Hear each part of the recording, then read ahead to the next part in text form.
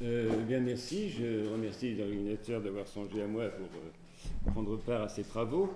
Et euh, malgré les 25 minutes, je vais prendre deux, petits préliminaires. D'abord, j'aimerais présenter mon propos d'aujourd'hui en, hommage à, Martin et au génie du lieu, comme une version prosaïque, trop prosaïque, de la jonction. S'il est vrai que s'il est vrai donc que la jonction, mais j'y retrouve, est la logique unifiante des séparés et réciproquement ce qui sépare ce qui s'unit. Mon deuxième euh, euh, préliminaire, euh, c'est que j'aimerais également supposer que nous avons tous à peu près en tête et à peu près par cœur les lettres 8 à 14 de la première partie d'Héloïse sur lequel je m'appuierai essentiellement, hein, et auquel donc, pour euh, rester autant que possible dans les limites du temps imparti, euh, je ne me rapporterai pas trop explicitement. Alors, si, si l'amour est la passion du différent, au regard de la pitié, passion du semblable, et de, de l'amitié, passion de l'égal, si, la formule a déjà été rappelée, finalement, dans l'union des sexes, chacun concourt également à l'objet commun, mais non pas de la même manière, il s'ensuit que cette jouissance, qui fait le sel de la vie, à défaut de quoi effectivement tout est insipide, nous dit Rousseau, et qui tient pour l'essentiel au charme de l'union des cœurs et à l'étroite union des âmes, que cette jouissance donc n'est pas celle de l'unisson, mais qu'elle ne va pas justement sans une certaine dissonance qui atteste un rapport irrationnel c'est-à-dire noué entre des termes non seulement différents, mais encore incommensurables. Et je rappelle la, toute fin justement de l'article dissonance, qui est un article d'ailleurs assez, assez important dans le dictionnaire de musique. Encore une observation avant de finir cet article. Tout intervalle commensurable est réellement consonant. Il n'y a de vraiment dissonant que ceux dont les rapports sont irrationnels, car il n'y a que cela auquel on ne puisse assigner aucun son fondamental commun, c'est-à-dire qu'on ne puisse pas réduire à une commune mesure. Alors il s'ensuit donc que l'accord des âmes et des cœurs ne s'éprouve jamais qu'à travers un foncier malentendu, non sans que du même coup l'amour ne puisse qu'être sujet à de bizarres caprices. C'est par là que s'ouvre justement la lettre 8, laquelle commence ce passage que je voudrais un peu illustrer et que l'amour donc ne peut que suivre un cours passablement capricant, et c'est bien ce qui se passe au moins tout au long de la première partie. Alors, sans doute n'est-il de jouissance que de l'autre, sans doute les voluptés solitaires sont-elles des voluptés mortes, insipides et méprisables, je cite, sans doute les voluptés vives relèvent-elles moins de la sensualité que de la sensibilité de corps parlant, puisqu'aussi bien, je cite encore, les citations, les, pardon, les sensations ne sont rien que ce que le cœur les fait être, mais pour étroite que puisse être cette union, en vertu de laquelle les amants sont si bien attachés l'un à l'autre que rien au monde ne pourrait les désunir, on pourra bien nous séparer, mais non pas nous désunir, euh, euh, dit, Julie, telle une union, une union à l'épreuve de toute distance, et euh, les cœurs se toucheraient aux deux bouts du monde par laquelle euh, chacun tour à tour n'existe plus que dans et par l'autre, ne vit et ne respire plus que pour l'autre, proteste le connaître mieux qu'il ne se connaît lui-même, et n'avoir d'autre vie que celle qu'il en a reçue, eh bien il s'en faut toutefois qu'il ne fasse qu'un. Et cette union scellée dans la réciprocité n'implique ni même ne souffre uniment ni accord, ni partage, ni communauté fusionnelle, tant justement elle ne laisse pas d'opérer sur le fond d'une irréductible dissonance, et elle a pour ressort une indéfectible disparité. Alors, évidemment, la question est un peu voilée par les conditions de l'intrigue, les péripéties du, roman, qui imputent aux seules circonstances extérieures les obstacles à l'union. Mais ces dernières, quelques spectaculaires, quelques dramatiques qu'elles soient, le mauvais papa, les, les, coups dans le ventre, enfin bon, j'y passe, non, les coups dans le ventre, j'exagère, mais enfin, la manière dont il la repousse, etc., et les suites, bon, euh, euh, eh bien, ces données ne font que renforcer et redoubler un obstacle interne. Je cite toujours évidemment cette formule qui me paraît tout à fait frappante, c'est qu'en dépit de la fortune des parents et de nous-mêmes, nos destinées sont à jamais unies. En dépit de nous-mêmes, en quelque sorte, nos destinées sont à jamais unies. Donc il y a là une sorte d'obstacle interne d'une toute autre nature et qui fomente à la fois les délices et les tourments de la passion amoureuse pour en être à la fois le ressort et l'obstacle, dès lors que chacun alternativement et à sa manière, pardon, dès lors que chacun alternativement, à sa manière, de n'exister que par l'autre, que chacun ne fait qu'un avec l'autre, mais non pas de la même manière. Disparité qui se révèle évidemment comme par défaut sur le point crucial et épineux, le point critique, nous dit Julie, de l'union charnelle et de sa jouissance, sur laquelle Julie ne dira jamais mot, si ce n'est par le passage au tutoiement. J'en donnerai un exemple qui me paraît évidemment le plus frappant, c'est dans la lettre 17, lorsqu'elle l'écarte, elle l'envoie au valet, etc. J'offense donc votre honneur pour lequel je donnerai mille fois ma vie, j'offense donc ton honneur, ingrat, qui m'a vu prête à t'abandonner le mien. Là, le tutoiement, évidemment, est véritablement lorsque c'est la question justement donc de l'union charnelle qui se trouve en jeu, puisque c'est juste euh, euh, exactement après justement l'épisode du bosquet. Ainsi donc, après l'aveu réciproque, mais rien moins qu'à l'unisson, qui consacre cette union des cœurs et des âmes, une première époque se dessine durant laquelle le calme, la tranquillité, la sereine félicité quasi paradisiaque de Julie, l'accord de l'amour et de l'innocence me semble être le paradis sur terre, eh bien contraste avec l'agitation, l'inquiétude, la souffrance, les tourments de son ami, frustré et dépité, à qui ces privations peuvent bien ou peu s'en faut être rendues douces ou chères, telles en tout cas qu'il ne voudrait pas ne les point sentir, sans qu'il cesse pour autant d'en être désolé et affligé, d'en murmurer sourdement, ou puis à la fin justement de faire état à demi de ce qui lui en coûte. Moyennant quoi, donc, au sein même de cette union dont chacun se félicite également, le désir lancinant d'un accord se fait jour de part et d'autre. Mais évidemment, non, sans quelques dissonances patentes.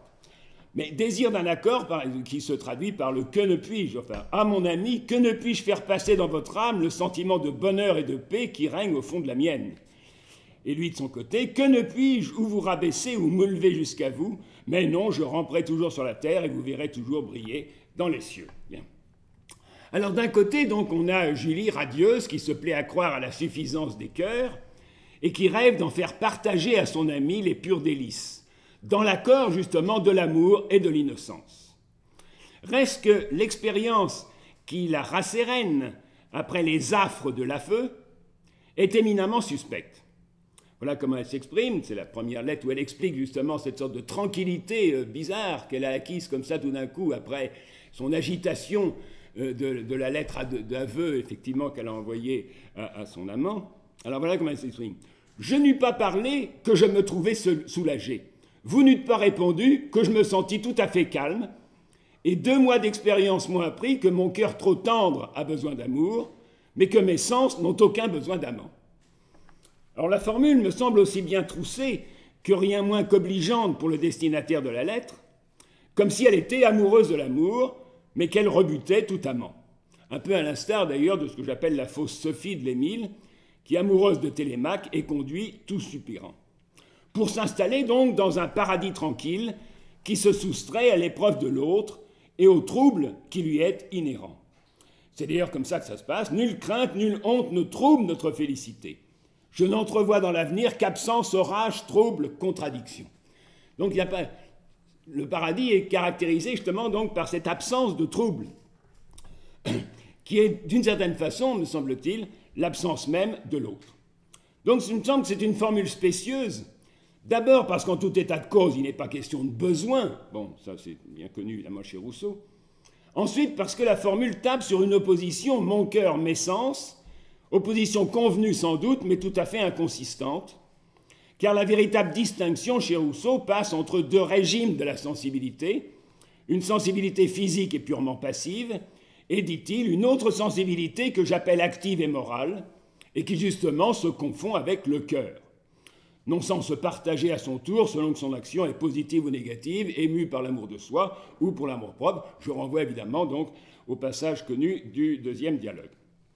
Autrement dit, loin de ratifier l'opposition du cœur et des sens, Rousseau ne cesse de scruter la manière selon laquelle les impressions des sens percent ou non jusqu'au cœur. En sorte que le cœur et les sens sont du même côté, celui de la sensibilité morale, et qu'il s'ensuit d'une part que le parti de la suffisance des cœurs à l'abri des sens est oiseux, d'autre part que le moment de la possession est une crise de l'amour, redoutable sans doute, mais aussi son inévitable épreuve de vérité. Alors à ce compte, donc, l'intervalle paradisiaque ne peut que finir, et même, comme il sera dit, comme il est dit dans, les mille, en peu de temps, puisque il y, a ce même caractère du paradis, donc entre Émile et Sophie. Mais je passe là-dessus car il repose justement sur l'illusion de se dérober à ce que Rousseau appelle les combats de la chasteté, qui seuls décident de la droiture du désir, c'est-à-dire du registre vertueux ou corrompu de l'embrasement charnel. Julie a mené, non sans alarme, ni sans avoir cherché à les esquiver, ce qu'il appelle les combats de la modestie, qui, sans l'abîmer dans le silence, lui ont arraché l'aveu pudique de son amour. Maintenant, elle fait de rechef comme si ceux de la chasteté n'avaient pas lieu d'être. Ces combats qui, sans l'abîmer dans l'abstinence, et non sans crainte de s'abuser, quitte à se le faire confirmer par son amant, la porteront à croire que, je cite, le véritable amour est le plus chaste de tous les liens, tant la décence et l'honnêteté l'accompagnent au sein de la volupté même, et tant lui seul sait tout accorder au désir, sans rien noter à la pudeur, mais ça sera évidemment bien après, c'est dans la lettre 50. Or, si ce déni du désir, ou ce déni justement des combats de la chasteté est intenable, c'est outre qu'il n'est pas partagé, qu'il implique très précisément comme un désaveu. Aussi bien reprend-elle son tour enjoué, sa folâtrerie quelque peu forcée, à ceci près qu'alors, c'est-à-dire avant l'aveu, sous couvert de plaisanterie, elle disait des choses tendres, mais inaudibles ou irrecevables par son destinataire, Tandis que maintenant, sous couvert de lui jurer un amour éternel, il semble qu'elle dise des choses plaisantes, à la grande irritation de son amant. Plus précisément, je dirais qu'elle entend à la fois jouir de son aveu, donc du loisir de jurer à son amant un amour éternel, et le désavouer, ou du moins ne pas assumer ce que Rousseau appelle également son crime, c'est-à-dire le fait que l'aveu change tout, que l'aveu, euh, il y a un avant et un après en quelque sorte, qu'on ne peut pas revenir en arrière pour sceller justement un accord de l'amour et de l'innocence, justement comme s'il n'y avait pas eu d'aveu. Équivoque, je dirais, presque aussi douteuse que celle qu'elle prête à son amant, qui s'accommoderait spécieusement de conjuguer les plaisirs du vice et l'honneur de la vertu, et qu'elle cingle évidemment d'une manière tout à fait féroce. Bref, comme dira la, lettre 3.18, l'innocence et l'amour ont beau lui être alors également nécessaires, Force est de trancher et d'éprouver que le crime de l'amour déniaise et fait inexorablement sortir de l'innocence, non pour se perdre dans la corruption, mais pour ouvrir la dimension du cœur, comme tel exposé à la corruption et tenu à la vertu. Tant je dirais qu'un cœur innocent est une niaiserie qui n'a guère plus de teneur qu'un carré rond. De l'autre côté, son amant ne disconvient pas du charme divin qui associe comme par miracle la tendresse et la vertu, la sérénité d'une âme innocente et la tendre sollicitude de l'amour.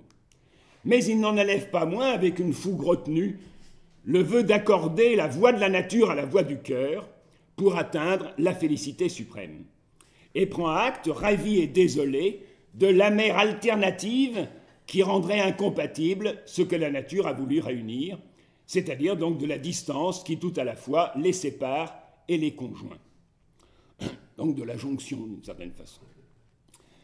Dès lors que l'un et l'autre visent également l'accord, mais non pas de la même manière, s'ils n'ont plus que les mêmes plaisirs et les mêmes peines, chacun ne pouvant séparer son bonheur de celui de l'autre, se réjouissant de ses plaisirs, s'affligeant de ses peines, je dirais quand même à ceci près qu'en l'occurrence, le bonheur commun se distribue de telle sorte que l'un se félicite de la félicité de sa maîtresse, et que celle-ci n'est pas sans compatir aux peines de son amant, eh bien, je dirais que la crise est fatale, car sitôt que l'amant, loin de s'imaginer faire son bonheur aux dépens de celui de sa maîtresse et au prix de ses larmes, se résout, faute de pouvoir en accorder les termes, à trancher sans balancer l'amère alternative, en renonçant à mettre un comble à son bonheur au profit de celui de Julie, jusqu'à renoncer même à trop faire état de ce renoncement, puisqu'il ne, murmure plus, hein, il ne fait qu'à demi, etc. Bon.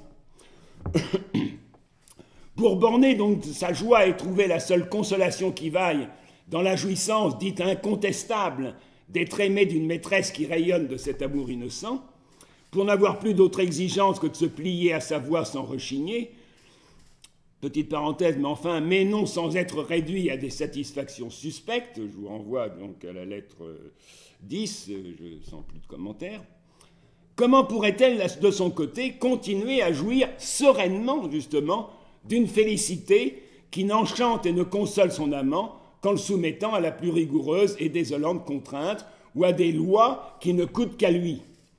Quand le sommement d'étouffer un feu que rien ne saurait éteindre ni calmer, et que cette contrainte même attise, d'autant qu'elle procède du même foyer que l'ardeur qu'elle doit contenir, c'est-à-dire des yeux mêmes de Julie, où s'exerce à la fois l'empire invincible de la nature, c'est-à-dire les charmes qui enflamment les désirs, et les perfections de son âme, la félicité si pure que le cœur de l'amant craint d'altérer.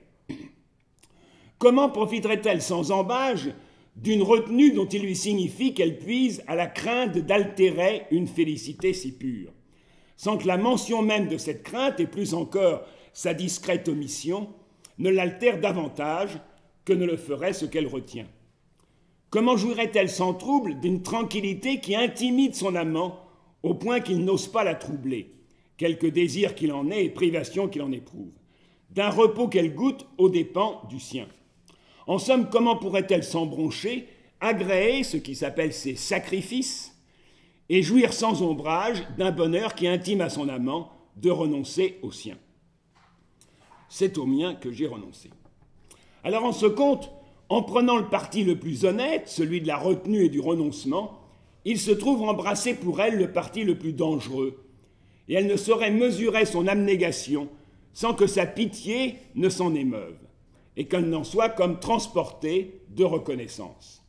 Elle a beau l'assurer que ses sacrifices ne sont pas sans douceur, qu'ils lui sont comptés dans le cœur de son amante, elle est du même coup si bien touchée de sa retenue qu'elle se résout à lui ménager quelques dédommagements sur le terrain même où sa déférence s'exerce.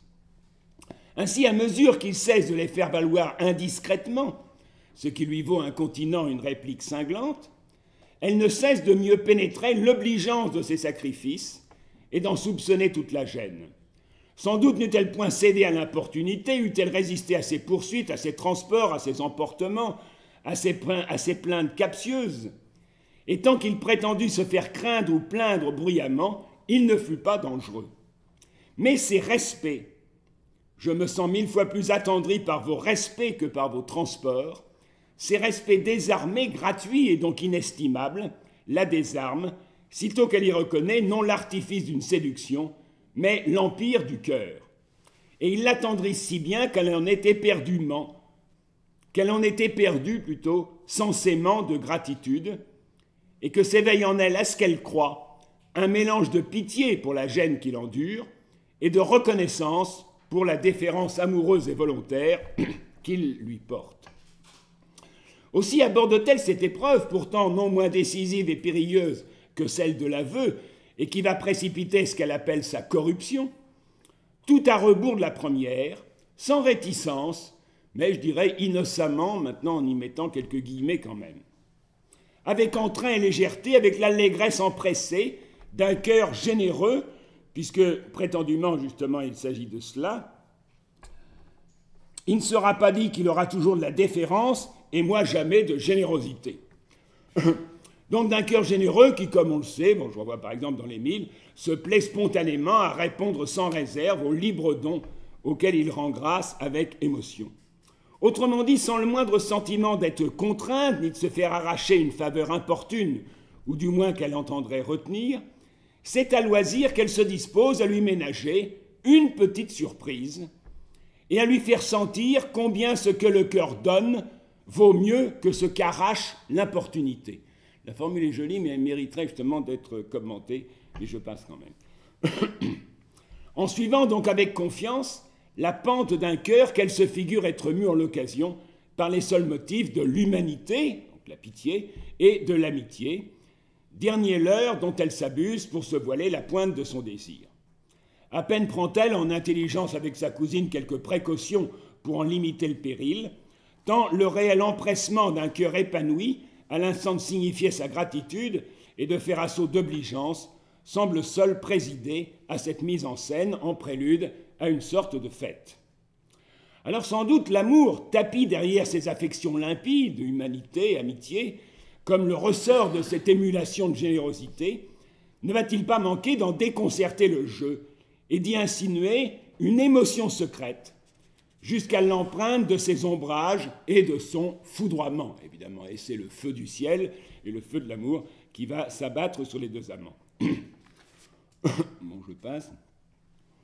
Encore évidemment, est-ce celle-même qui appréhende la moindre altération de leur état, qui ne laisse pas d'en provoquer le bouleversement, dès lors qu'en modérant sa retenue et sa générosité, non, pardon, dès lors qu'en modérant sa retenue, sa générosité ouvre la voie au transport en réponse à la, déférence de son amant qui s'efforce de les contenir.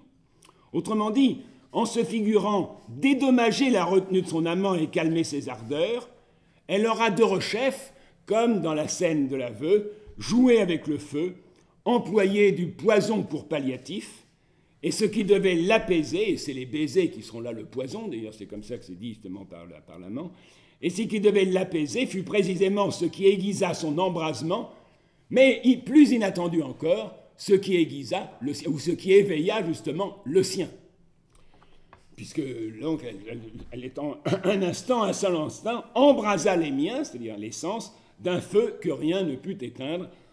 C'est ce que dit Julie dans la lettre 3.18.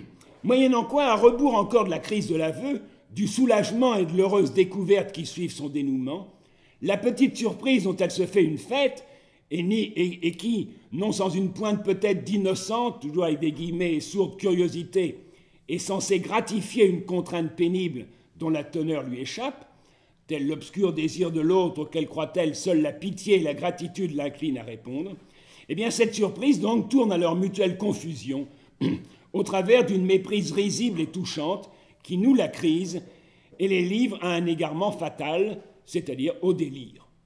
En un instant, elle connaît l'embrasement de ses sens, sur lequel elle reste squatte, mais qui se trahit éloquemment par le signe d'une absence, d'un relâchement achevé en défaillance, tandis que son amant, au plus fort de la tension voluptueuse, est comme interrompu par la pamoison à laquelle elle s'abandonne et dont il s'effraie comme d'une syncope. Alors je vous renvoie donc au sujet de l'estampe, puisque c'est la première estampe de la Nouvelle Héloïse, et où les indications de Rousseau sont là sans équivoque. Ainsi donc, l'un et l'autre, en ce fatal moment, tombent dans un égal égarement, qui, pour partager qu'ils soient, ne sonne pas de nouveau à l'unisson. Sans doute l'un et l'autre, pour finir, ne sont pas dupes de ce qui est arrivé, mais à l'instant qu'elle se pâme, il méconnaît le signe de cet abandon consenti, si bien qu'elle lui échappe à l'instant même et selon le biais même par lequel elle se donne, et qu'il ne s'en avise qu'après coup lorsqu'elle s'est assez ressaisie pour que sa volonté offre une résistance et qu'elle exige sèchement, impérieusement leur séparation pour se garantir d'elle-même non moins que de lui. Mais j'ajouterai dans une lettre assez glaciale et péremptoire, pour y déceler aussi peut-être le secret ressentiment ou l'inavouable dépit d'une femme envers, je cite dans les confessions, le crime le plus irrémissible qu'un homme puisse commettre envers elle, à savoir d'en pouvoir jouir et de n'en rien faire. Dans une sorte de viol à rebours, je sais que Claude m'en veut justement de cette expression trop gaillarde et, trop, sans doute évidemment tout à fait abusive, mais euh, c'est pour la simplicité des choses. Heureuse méprise au demeurant, car s'il avait percé le signe d'un cœur qui s'abandonne, eût-il été assez honnête pour s'abstenir s'en prévaloir avant d'avoir encore arraché le consentement de la volonté. Alors je sais bien que, du même coup, ces deux procès contradictoires semblent ne laisser à l'homme que le dilemme entre deux outrages, soit d'être un de, ou bien de marquer de l'indifférence pour la possession de la femme. Mais il me semble justement que la loi de la dissonance prescrit toujours un doute qui n'est pas sans douceur.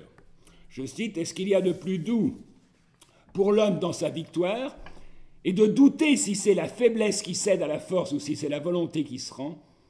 Et la ruse ordinaire de la femme est de laisser toujours ce doute entre elle et lui. Alors à ce compte, absence, orage, trouble, contradictoire, contradiction plutôt, ne laisse pas de transir la pente de l'union charnelle, chacun se trouvant comme pris à son propre jeu. Initiatrice initiée, elle est la première surprise par la petite surprise qu'elle lui destinait. Elle qui se flattait que ses sens n'eut aucun besoin d'amant, elle se découvre soudain inflammable, donc non point corrompue pour autant comme elle s'en alarme, mais désormais en guerre avec ses sens, vouée au combat de la chasteté, et s'avise avec effroi qu'elle fut enclin à ne rien refuser à son amant, malgré sa volonté d'être chaste. N'aspirant qu'à la félicité suprême, lui, eh bien, il se méprend sur les marques de l'abandon qu'il a lui annoncé, et à peine revient-il de sa bévue qu'il est inexorablement éloigné. Reste qu'en ce jeu de dupes, de nouveau un acte fatidique, de nouveau quelque chose comme un crime a été perpétré, un pas franchi sur lequel on ne saurait revenir, et il le souligne l'un et l'autre, et que cet éclair a laissé une trace fatale sur l'un comme sur l'autre. Il ne saurait plus tenir Julie pour un ange ou une étoile purement sublime, dès lors qu'elle s'est inopinément rabaissée, je dirais d'une certaine façon, jusqu'à lui.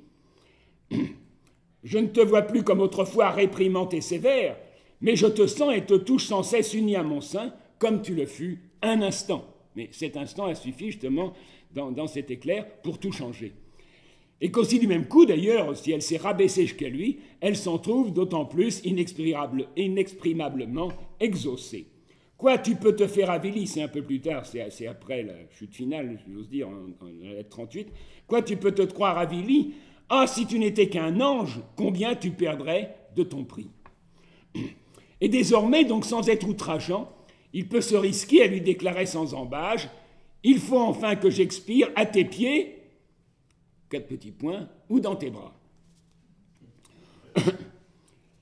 Pour ce qui est de Julie, elle ne saurait plus se flatter de l'innocence de ses désirs, ni se figurer être au paradis quand elle éprouve sa passion comme un feu dévorant, et que la voie est ouverte vers le transport dont une lettre alarmée de Claire fera état, en disant justement qu'elle est de plus en plus mal et qu'il y a un transport au cerveau, et que Julie se met à délirer, etc., etc et qui, sans un rappel explicite de sa part, précipitera, avec le retour de l'amant, la consommation de cette union, consommation non exempte encore à son tour d'une foncière dissonance, et cette fois-ci, d'une certaine façon, affront renversé, hein, puisque l'amant est au 7e siècle, et qu'il découvre le lendemain, justement, Julie en larmes dans son cabinet. Que me sert donc, alors c'est lui qui parle, comme sert, hélas, d'être heureux, ce ne sont plus mes mots, mais les tiens que j'éprouve, et je n'en suis que plus sensible. Je vous remercie. Je crois avoir à peu près tenu le, le délai. Merci beaucoup. Tout ce, euh, parcours euh, à travers la dissonance sexuelle, la disjonction et la jonction avec la très jolie évocation de la jonction poétique de, de Martin Rueff. Euh, la parole est à la salle. Qui veut s'en saisir euh, sur la citation euh, en, dépit des parents et de nous-mêmes, nous serons invinciblement unis, je me demande ce qui est en question, est-ce que de nous-mêmes ça veut dire l'obstacle interne, comme tu sembles le dire, ou est-ce que ça veut dire les efforts de vertu que nous avons faits pour, pour résister à, à, cette illégitimité Platement? Oui, oui, oui ça écrase évidemment le. non, non, mais euh, oui, oui, je n'avais pas pensé exactement ça, mais je comprends, oui, oui, d'accord, oui. Hmm. Non, non, mais j'ai rien à ajouter, oui, c'est euh, quelque chose qui euh, diminue, diminue, un petit peu la force de, de, de, de, cette, de cette formule. Parce que quand même, si tu veux, il y, a le, il, y a, il y a la fortune, les parents, donc ça, c'est les gros obstacles à première vue, enfin, qui, de manière romanesque, en quelque sorte, euh, s'impose, si tu veux. Bon. Et, pourquoi ajouter justement ce de nous-mêmes Donc, tu vois, euh, en dépit de nous-mêmes, nous, nous, serons unis. Enfin bon. Non, non, c'est. Martin Rugal Oui, merci beaucoup euh, pour cette magnifique explication au fil du texte et aussi dans cette capacité que tu as de, ressaisir les enjeux. J'avais deux questions à, poser, qui sont des questions euh, assez larges, je peux avoir, et sont nourries euh, par propre réflexion. La première, c'est que il me semble que cette dissonance euh, dont tu as montré l'importance, hein, qui est une espèce de condition d'impossibilité, une condition de possibilité paradoxale, elle, n'obéit pas au même régime dans les milles. Le rapport entre Émile et Sophie, il n'est pas construit sur le même type de dissonance. Euh, pourquoi? Parce que euh, Sophie, d'une certaine manière, elle, est programmée, de même que Émile est programmé, elle est mal programmée, on mal qu'Émile est quand même programmé.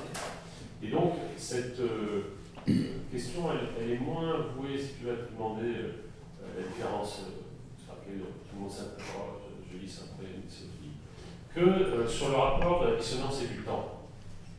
C'est-à-dire euh, comment ça évolue la dissonance et comment on se fait à la dissonance et comment on. Parce que justement en musique, on sait bien, euh, les morceaux dissonants euh, sont après les morceaux que l'on est le plus attaché parce qu'on fait rentrer cette dissonance dans une espèce d'intimité avec nous-mêmes et on s'y fait. Hein, donc il y, a, se faire la dissonance, ça c'est la première question. Et puis la, deuxième question, et plus interne à l'évolution, c'est qu'il me semble que leur dissonance, elle n'est pas à fait vécue au cours du roman de la même manière, parce que euh, Saint-Paul, il n'arrête pas de jouer Julie contre elle-même, c'est-à-dire de jouer ce qu'il appelle l'image de Julie, hein, c'est ça, hein, qui, presque plus forte en lui que Julie elle-même, d'une certaine manière. Et, jouer, et donc, du coup, ce point centrale parce que c'est la question du rapport entre imagination et sensation dans l'amour. je voulais que tu, me dises ce que tu pensais de, ce rapport justement à, cette euh, dissociation intime euh, de Julie en Saint-Paul qui fait que, quels que soient les, obstacles qu'il a, dû affronter, qu'il devra affronter, euh, en fait, comme Julie est toujours là avec lui, ça, les dissonances n'importent plus. C'est aussi la question de la temporalité.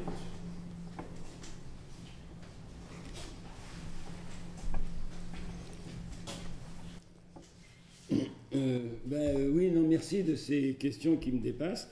Euh, sur, sur, la question de. c'est vrai, c'est assez, assez, frappant, effectivement, le, le, roman, le roman de l'Émile, évidemment, est, est, assez différent. Mais s'il est assez différent, c'est en grande partie aussi parce qu'il ramasse de manière très rapide euh, les, six parties de l'Héloïse, d'une certaine façon. Hein. Euh, parce qu'il y a les voyages, parce que, etc., etc.. Et alors, dans les mille, justement, la question des voyages hein, euh, prend une place très, très considérable par rapport, par rapport à la narration de l'idylle, si j'ose dire. Hein. Bon, Enfin, reste qu'il y a aussi dans le détail des choses, évidemment, des dissonances dans le rapport euh, euh, entre le, Émile et, Sophie, si tu veux, euh, à l'intérieur de, ce qui nous en est dit. Hein. Alors, sur la, question de l'image et, ce que tu disais sur le temps, etc., alors bien sûr, non, non, je reconnais justement tout ce que tu as indiqué justement sur la question de l'image, de l'image, de l'image de de, Julie, etc. Et c'est tout à fait essentiel. Euh, dans le texte, puisque là je ne parlerai que du texte que j'avais coupé, hein, alors l'image de Julie, alors tu as évidemment tout à fait raison, c'est-à-dire qu'il joue, j'aime pas beaucoup l'expression parce que jouer ça veut, ça veut dire qu'il y aurait une sorte de stratégie si tu veux, et je crois que c'est tout à fait à l'encontre justement de ce que, de ce que Rousseau... Bon, c'est pas un séducteur à proprement parler, quoi, bon, mais enfin, bon... Mais enfin, il joue, Julie contre Julie d'une certaine façon. Hein. Et alors, ce qu'il y a évidemment, c'est le point que j'ai laissé euh, entre, parenthèses, hein, en parlant justement des satisfactions suspectes. Hein. c'est justement dans ces satisfactions suspectes que l'image de Julie, donc je me venge en ton absence sur ton image. Euh, je suis d'un respect parfait, justement, donc en ta présence, mais je me venge en ton absence, justement, sur son image. Donc il y a bien là ce jeu, effectivement, et l'image, là, évidemment, a, un emploi tout à fait particulier. Je ne peux en dire plus.